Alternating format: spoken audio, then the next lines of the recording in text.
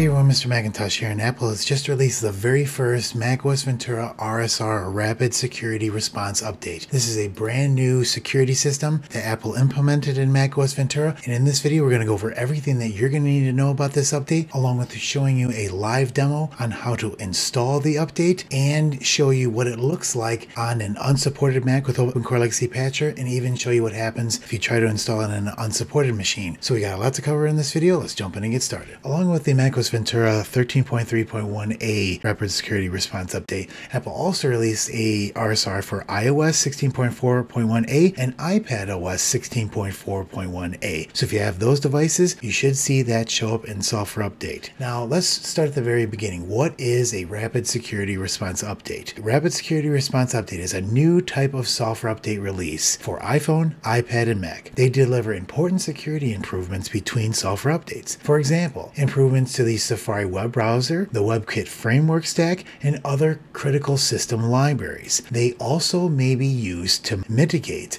some security issues more quickly, such as issues that might have been exploited or reported to exist in the wild. The idea here is that Apple normally has the software update system from when updates come out from the very first update, for example, macOS 13.0.1, released in the fall, the very first version, all the way to the end of updates once the new operating system like macOS 14 comes out in the fall of the next year. Then it goes into security update mode. Instead of waiting for those bigger point release updates like 13.4, Apple can resolve security vulnerabilities that are high impact really quickly and immediately. If you want a deeper dive into what a rapid security response update is, you can read Howard Oakley's article here at the Eclectic Light Company, What is a Rapid Security Response Update? And he goes into well detail in here on what a rapid security response update is. Also, our very own Mykola put a wonderful blog article together explaining in detail what happens during a rapid security response update. I'm going to put both of these links if you want to really go into the detail of what a rapid security response update is behind the scenes. Now, what are the requirements for this brand new rapid security response update? Well, they're very clear. And the first thing is, is you have to be on macOS Ventura. Apple did not backport this new feature to macOS Big Sur or macOS Monterey. And you also have to be on the latest version of the operating system to see the update in system preferences. On my database here, which I'm going to document all the rapid response updates, 13.3.1 is the bare minimum that you need to be on before you'll see the 13.3.1a update. And Apple also has a separate update for M1 and M2 Macs and Intel Macs. So they split it off for separate downloads. Now you can click on this link here and it's a direct download to Apple's software update servers and you can look at the update. You can't install it like a, a standalone installer, but at least if you wanted to inspect it and see what's going on in those updates. What happens if you don't see the rapid security response updates show up in system preferences? Well, you can close system settings and reopen it again, see if it shows up in software update. And if that doesn't show up, then you usually will fall into one of the things that we just mentioned that you're not in the latest version, 13.3.1, or you're on a, not supported operating system like Mac OS Monterey or Mac OS Big Sur. A lot of questions revolve around should you install the macOS Security Response update, and what happens if you skip it? Where do the fixes go? Do they get applied later? Well, that is crystal clear. Well, let's say you decide to skip the 13.3.1a update.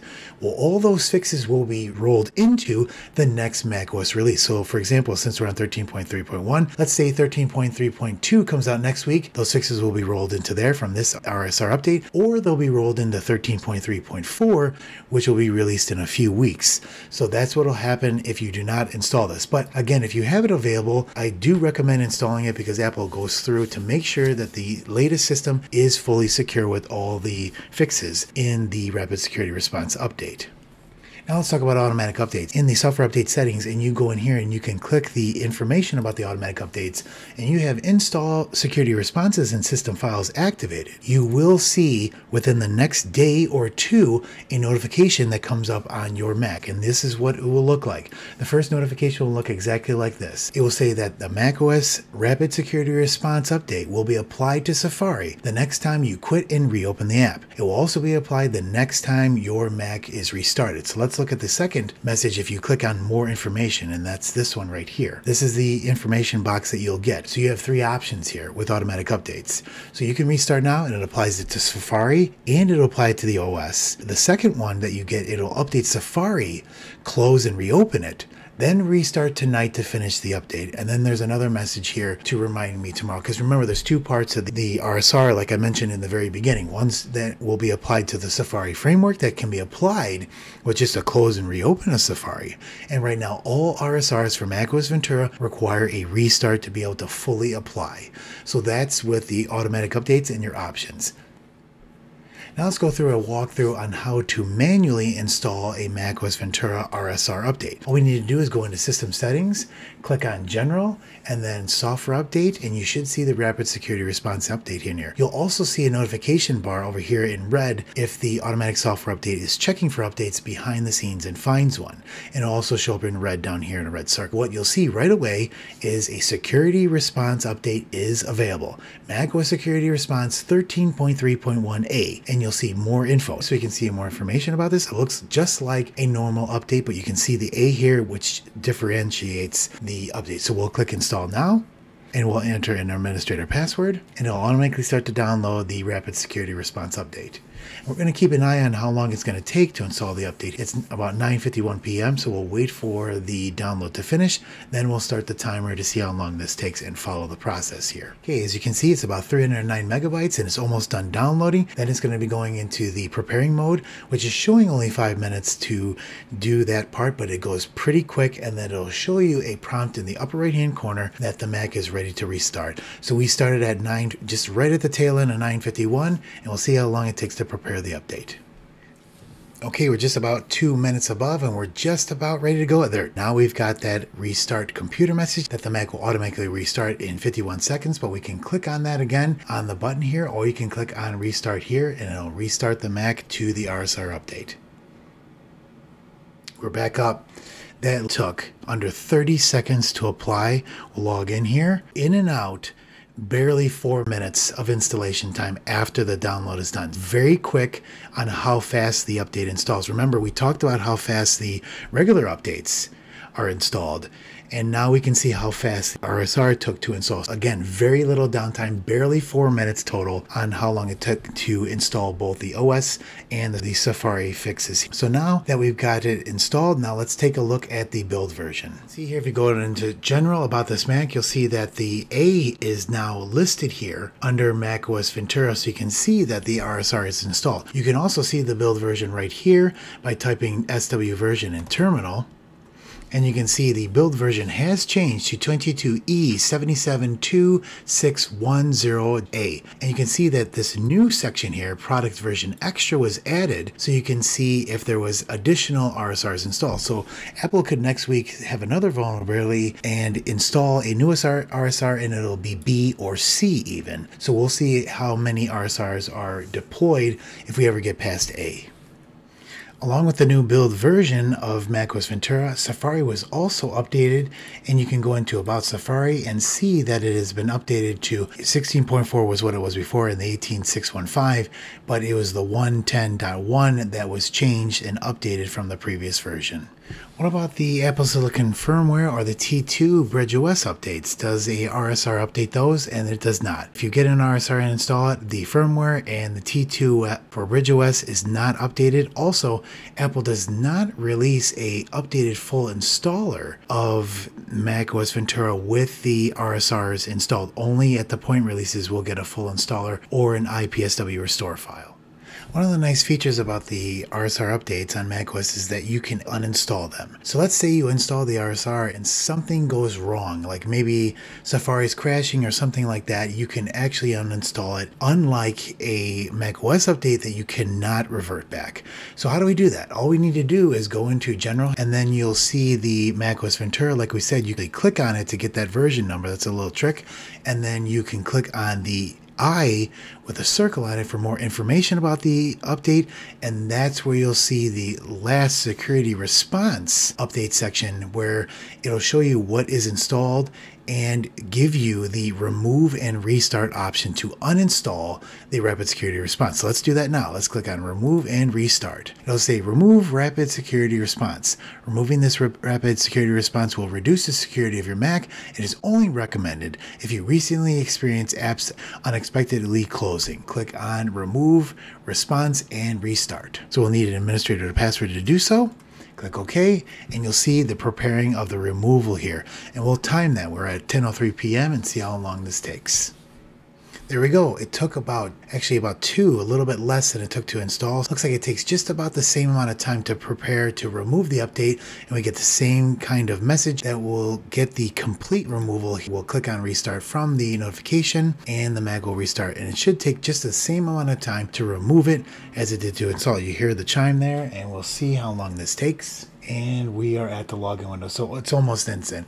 It's just like a restart. And there we go. Let's log back in and now the RSR update is uninstalled. You can actually check for the update again and you'll see it here. showing as a software update in both system settings and you can check it here in terminal and it'll show as available to be able to install again like nothing even happened. Rapid Security Response 13.3.1a. Now let's talk about installing a Rapid Security Response update on an unsupported Mac with OpenCore Legacy Patcher and macOS Ventura. First of all, let's talk about which Macs are compatible with the Rapid Security Response updates as of this version 0.6.4. If you have a Haswell Mac or newer, you can install a Rapid Security Response, and that covers around 2013 all the way to 2016. But that does not cover the Mac Pro, which is actually an Ivy Bridge processor. And I've got a Mac Pro here as our second demonstration Mac, which will show what happens if we try to install the security response. So let's go back to our 2016 MacBook Pro and show the installation process. To install the Rapid Security Response Update, we can do it the same way as we did with the supported system. Just go into System Settings, and then go to General, and then go to Software Update. You'll see it check for updates and see it is available. All we need to do is apply now. It'll do the same thing as the supported device. It'll download it, it'll prepare it, and ask us to restart. Okay, we're back up after the install. Let's log in. Now, the first thing you have to know is that after installing the Rapid Security Response update on an unsupported Mac, just like a Mac OS update, we have to install the root patches on the Mac to be able to bring it back to full compatibility. And there's the message we were looking for. OpenCore Legacy Patch has detected that you're running without root patches and would like to apply them for you. How nice is that? For graphics AMD Legacy and Intel Skylake. Let's do that now. Type in a password. There we go. Look at that. How nice is that?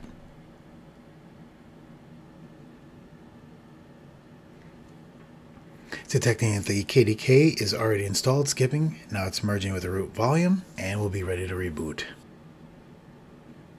Done. Let's click reboot and restart. Okay, we're back up again. Let's log in. All right, let's click on post install root patch, and there we go. All applicable patches are already installed and we have the latest version. There we go.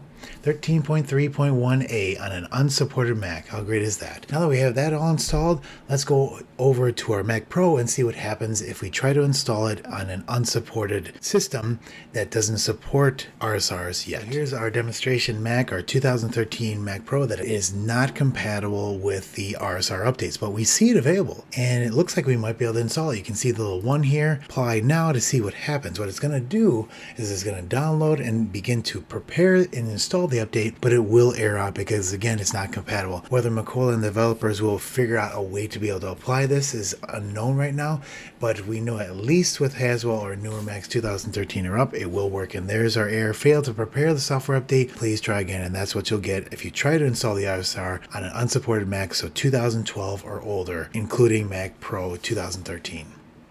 Let me know in the comments if you installed the Rapid Security Response Update and it worked okay on your Mac.